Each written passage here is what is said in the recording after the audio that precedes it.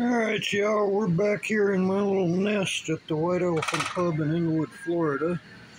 And what we're looking at today is a Neptune. Let me run this light down here. Drop some stuff while I'm grabbing the light. It is a Neptune outboard engine.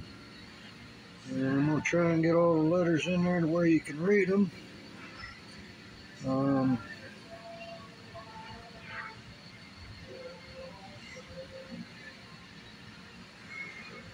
Muncie Gear Company, model number 1082. And the gas tank's here for it, but it got painted, uh, uh, it's got a red paint on it, and somebody didn't, that's got it. do But uh, the motor is really nice for its age.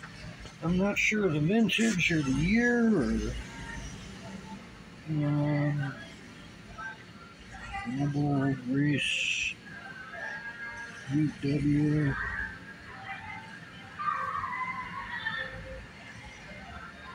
Wow. Sorry, I'm sitting here reading this stuff. Trying to get it to where y'all can read it too. Maybe freeze the frame or something. Uh, I don't see a horsepower on there, but I'm guessing about a half, maybe one. it ain't much bigger than that. That would be the fuel inlet, petcock. Mm, big old spark plug. Lower unit. And prop doesn't look like it's uh, done too well there. What else we got here?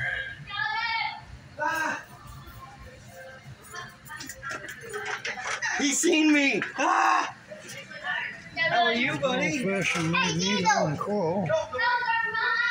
So very little on it to go wrong.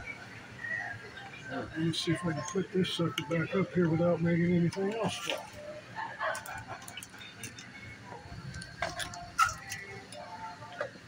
All right.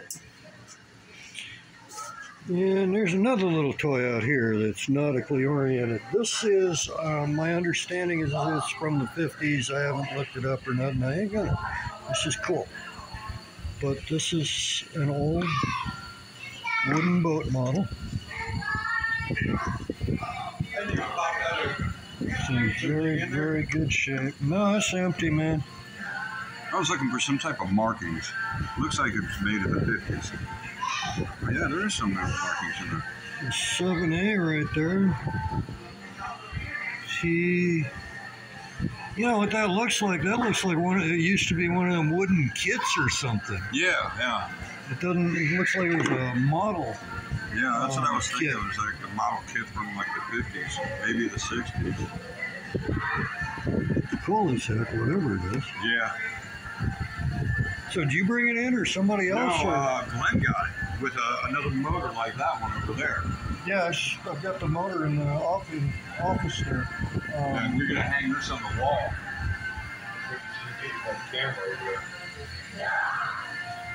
oh, you gonna mess up one of my cameras? That's all right. It'll look better.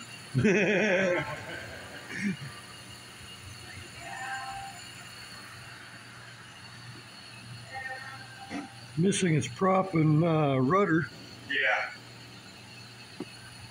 But hell, it's, I'm surprised it's lasted this long and that good a shape. Oh, no kidding, that is pretty. Somebody took a lot of time putting that together. Yeah. Yeah, and you can tell because when I'm looking over it, it doesn't have doesn't have any modern screws. Yeah, it's all glue Yeah. and brads. I noticed a couple. I think I noticed these are brads. Yeah. That's loose.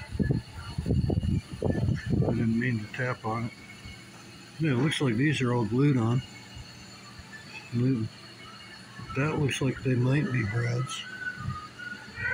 Yeah, I thought it was good. That's not gonna focus for me. Better my eyes are messed up, but yeah, it's cool as hell. Makes me want the real thing. Don't let me don't let me go across the street from the marina. What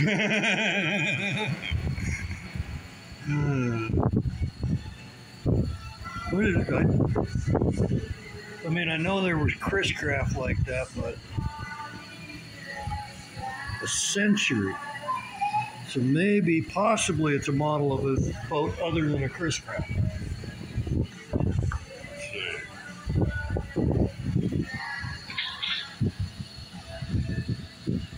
Pretty. Anyway, we'll holler at y'all later.